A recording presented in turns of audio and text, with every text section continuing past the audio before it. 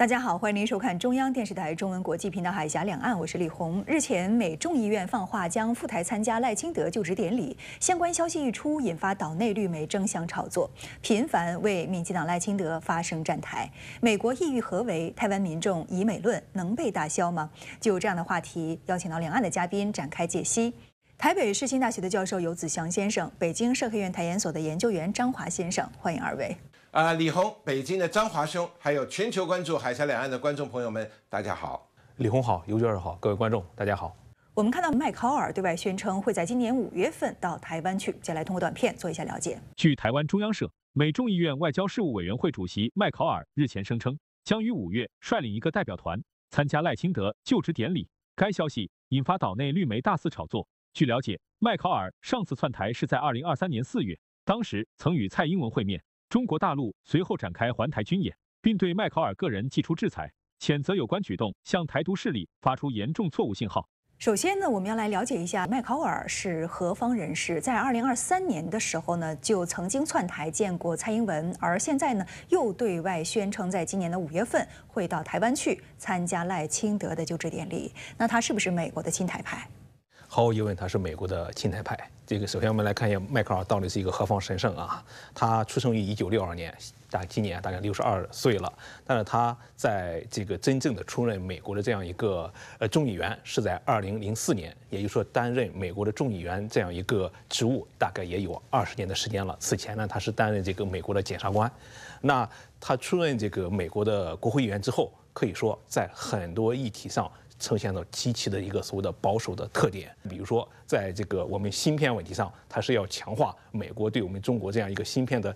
制裁打压，绝对不允许这个其他国家和地区的芯片企业跟我们中国提供芯片以及相关的技术合作等等等等。那所以整个的对华政策是非常的保守。那在对台问题上，毫无疑问也是延续了它整个的这样一个意识形态和对华的政策主张。那在台湾问题上，刚才您提到了，在去年的时候曾经窜访我国台湾地区，也因为他这一次窜访，使得我们中国要对他进行这个制裁，把他列入了列入了这样一个所谓的黑名单，然后禁止这个我们。境内的这相关企业人士跟他这个做生意进行任何任何的往来，当然也冻结他在我们中国境内的任何的资产和财产等等等等。这是在对台问题上，而且我们接下来刚才您提到说，这一次他是要去我国的台湾地区参加赖清德所谓的这样一个就职典礼这样一个活动，当然这也是一个。可以说是此前历任的台湾地区领导人每次进行所谓的就职典礼的时候，美国国内也都会派出一个所谓的这样一个代表团到台湾岛内去。只不过这一次是迈克尔然后担任这样一个角色而已。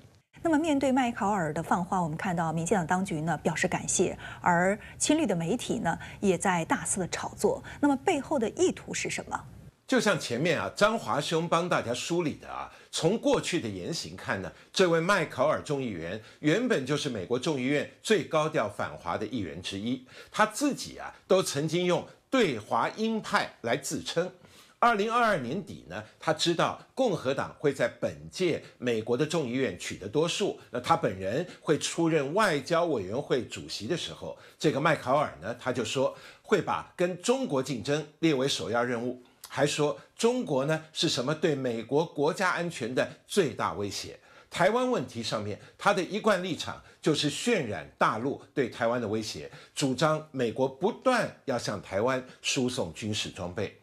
而且麦考尔跟美国一些对华鹰派的议员一样啊，都很喜欢拿乌克兰跟台湾来相提并论，炒作美国对台湾的支持。众议院中国特别委员会的那个加拉格尔二月带了几个议员到台湾来，后来呢也对外炒作啊，说民进党当局的人跟他见面的时候都很关心乌克兰的议题，其中一个美国议员还形容啊，说民进党当局跟猎鹰一样，紧盯着美国国会对援乌追加预算的态度，担心呢这会送出美国不挺台湾的信号。老把自己跟一个情况完全不同于两岸啊，而且已经开战的地方来做比较啊，那为的目的就是要炒作美国对台湾的军事支持，有必要吗？那么这一次麦考尔说要带团参加五二零赖清德的就职啊，是法新社传出来的消息啊，那场合呢是在美国国会大楼的一场纪念与台湾关系法活动上。啊，那参加活动的除了美国两党的一些国会议员啊，台湾的驻美代表也在场。所以麦考尔这句话应该是当着台湾驻美代表的面说的啊。那这场活动形式上就是在宣扬美国对台湾支持的一个政治秀。民进党当局并没有证实麦考尔要来的消息啊。但是他们说欢迎美国国会议员还有各界友人对台湾展现支持。其实啊，美国不管干了什么，证实了没有，台湾的外事部门啊，都好像生怕谢谢说的慢了啊。特别是在金厦海域撞船事件造成两岸紧张进一步升高之后呢，民进党当局就是老招一个啊，对内就装得很强硬，对外就是跟美国求救啊，跟美国议员搞一搞政治秀，大概也是想帮自己壮壮胆吧。不过在岛内呢也有不同的声音，有人也在奉劝绿营不要太自嗨。美方这一次到台湾去呢，是为了美方的利益而去，所以我们应该如何来看待美台在呃这种勾连之后，谁才是最大的利益获得者？我们现在还不清楚，这个这一次这迈克尔到台湾岛内，台湾会基于迈克尔本人什么样的政治利益，直接的金钱。还有所谓的这样一个荣誉等等等等，我们不清楚。但是从历史上的一些事情来看，我们可以大胆的断定，背后一定有各种各样的这样一个猫腻。比如说，在二零二二年，这个当时的呃格里厄姆也是美国的一个议员，到台湾地区进行窜访，窜访完了之后，我们就很快传出消息说，格里厄姆要求台湾采购高达八十亿美元的这样一个波音七八七的飞机。那这个七八七的飞机，这个生产就在格雷厄姆的这样一个相关的选区。那在二零二三年，我们也看到这个长期亲台的一个议员叫梅南德兹，他也是所谓的美国国会的台湾连线的一个共同主席之一，在二三年的九月份被美国进行这个起诉，因为涉贪。涉贪的情况，其中就有其他国家和地区向梅兰德兹本人提供了各种各样的利益。再比如说，广为人知的，在二零二二年，这个美国时任这个议长佩洛西窜访台湾地区，窜台表面上也是所谓的一一套说辞，要对台湾支持等等等等，但实际上他当时带着他的儿子小保罗到台湾地区进行谋取个人的私利等等等等。那这一次迈克尔去，很有可能也是循着以往这些所谓的亲台议员的动作，然后为了个人的利益而已。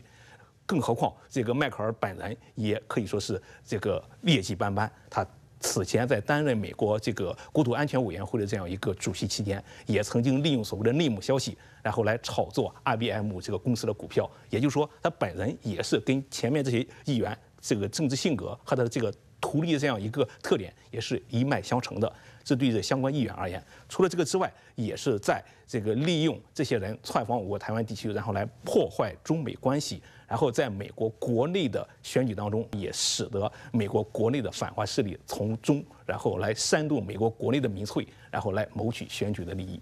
看来美方无论是派谁到岛内去，都是为美方利益而来。那么美方为的是什么样的利益？呃，美国对台军售是不是一方面的原因？接下来通过短片做一下了解。有美媒日前炒作，美方若售台 F 十五 EX 战机，将有力作战对抗歼二零。分析认为，该报道。有可能是美方在为对台军售新项目在打前站、试风向，而与此相矛盾的是，美国前参谋长联席会议主席米利却在日前受访指出，在经历了二十年的对伊拉克和阿富汗战争之后，美国民众已经普遍厌战，尤其不想卷入与自己没有直接关系的局面当中。最近一段时间，美媒正在炒作美方要向台湾出售 F 十五 EX 战机，声称呢它可以对抗歼二零。那么这个 F 十五 EX 战机它的性能到底如何？美方为什么要做这样的炒作？这是下一步的军售打算吗？呃，美国的国家利益杂志啊，三月一号在网站上刊出了一篇文章，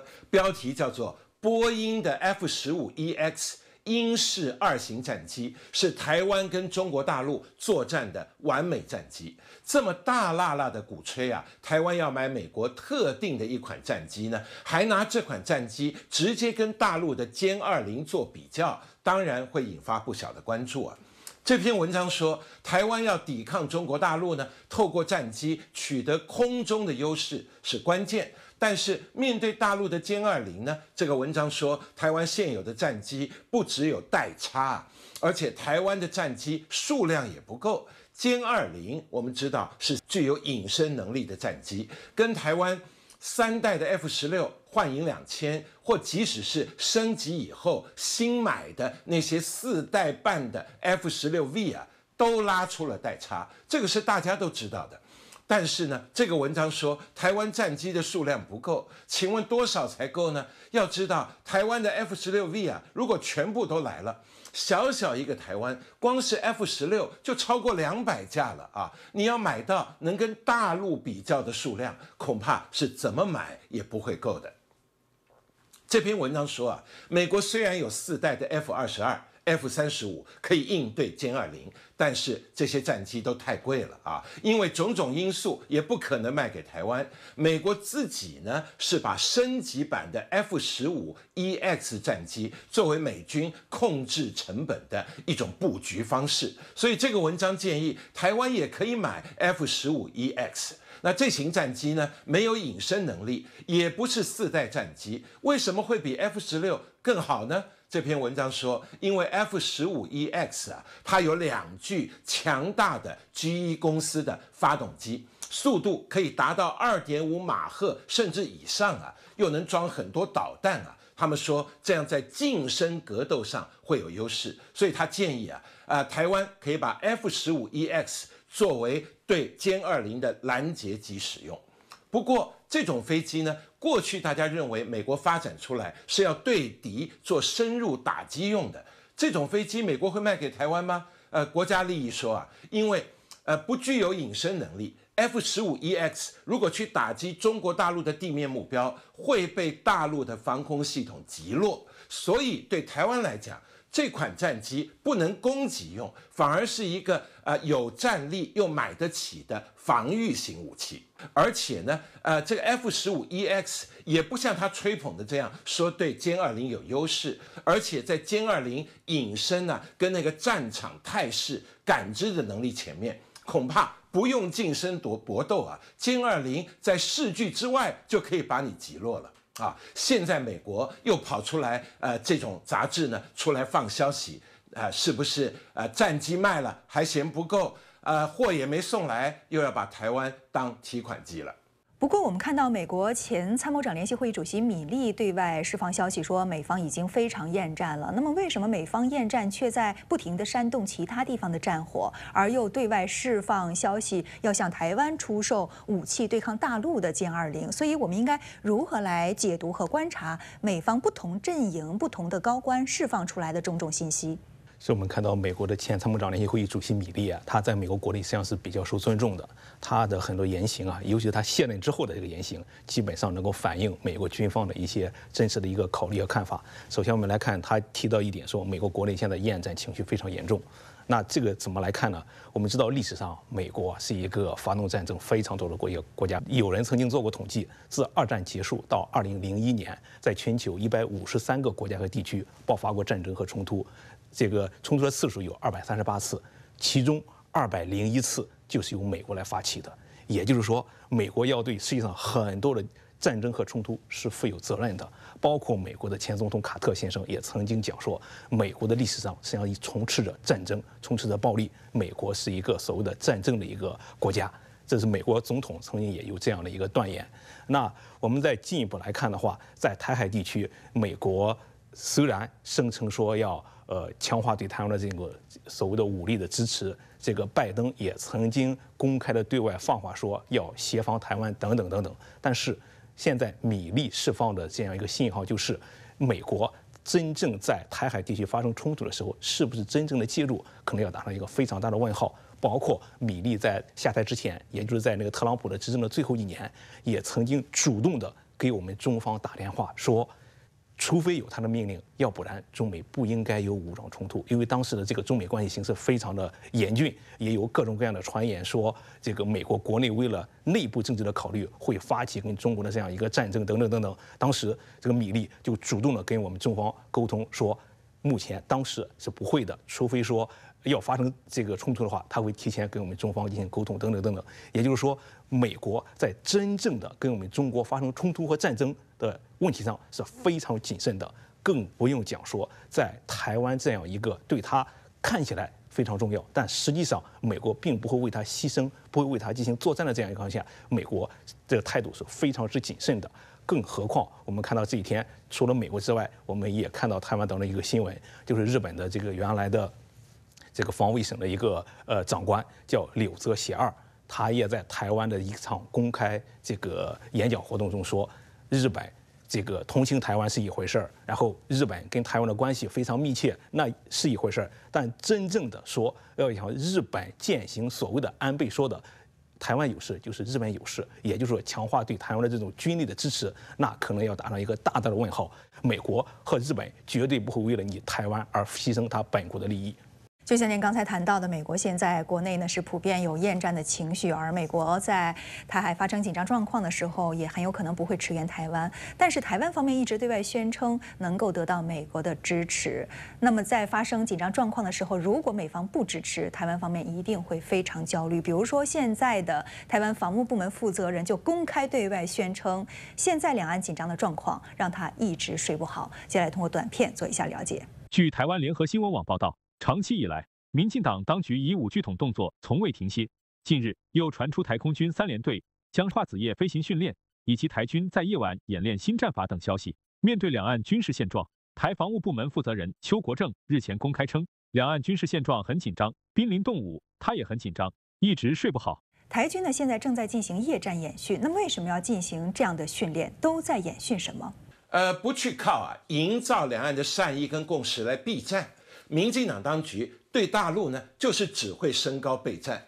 结果呢，就是美国军火商赚得盆满钵满，两岸的情势却越来越紧张。台湾的联合报前几天有个独家报道，说台湾空军花莲的第五联队、台南的第一联队、新竹的第二联队，最近都在向附近的乡里啊做宣导。说呢，是为了因应时局的需要，所以台湾空军啊，这个各连队会依照命令要执行跨子夜飞行训练，是要强化部队的夜战能力，符合实战化的要求。那什么是跨子夜飞行训练？呃，就是说台湾空军会开始在深夜二十三点到凌晨进行训练啊，会先从 IDF F 十六 V 幻影两千开始。各挑一个连队来做训练，呃，所以开始的时候一个月是一两次，后来会扩大到更多的连队，那就会经常举行了啊。